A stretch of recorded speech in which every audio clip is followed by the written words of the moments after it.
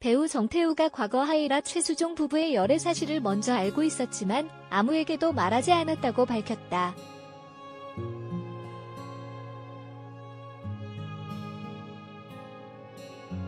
(23일) 방송된 KBS ETV 살림하는 남자들 시즌 2에서는 정태우의 가족이 함께 영화제에 참석하는 장면이 그려졌다.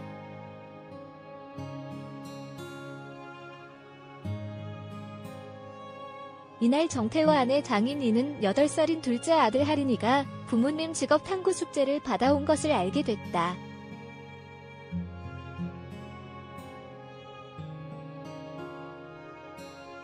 숙제의 내용은 부모님 중 한 사람의 직업을 조사해 일기로 제출하는 것.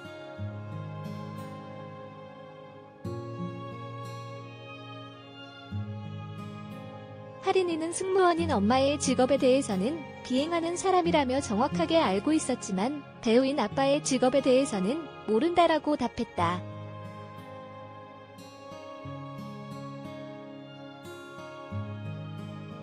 이에 서운함을 느낀 정태우는 직접 연기하는 모습까지 보였으나 하린이는 배우는 노는 사람이냐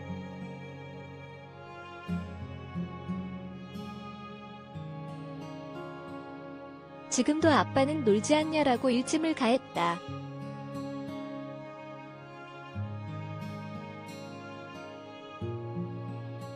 (1987년) 당시 6살이던 어린 나이에 아역 배우로 데뷔해 약 35년째 배우로 활동하고 있는 정태우.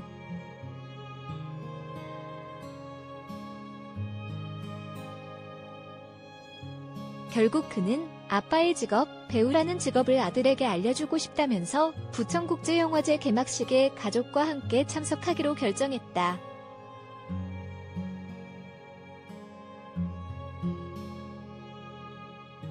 이후 영화제 참석을 위해 헤이숍을 방문한 정태우는 데뷔 동기가 누가 있냐? 라는 질문을 받았고 무려 나이차가 20살 정도 나는 최수종을 언급했다.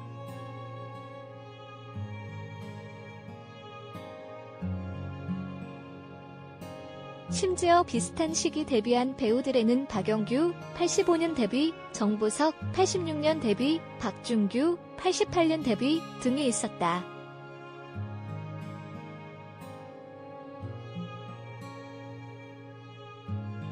정태우는 주변에서도 엄청 놀린다.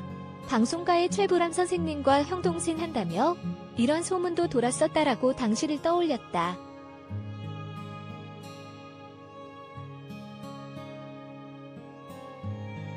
그러면서 추억의 인물이 있냐?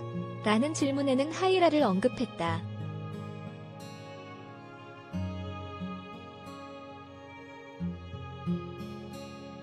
그는 1993년 드라마 먼동에서 하이라와 남매로 출연했었다.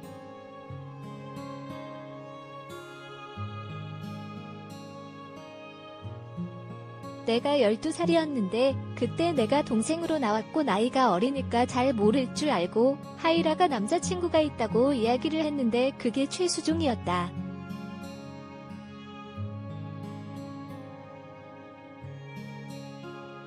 혼자만 알고 있었다. 비밀을 지켜야 되니까 아무한테도 발설하지 않았다라고 전했다.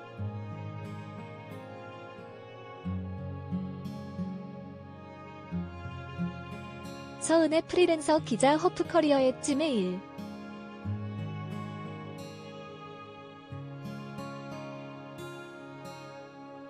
캄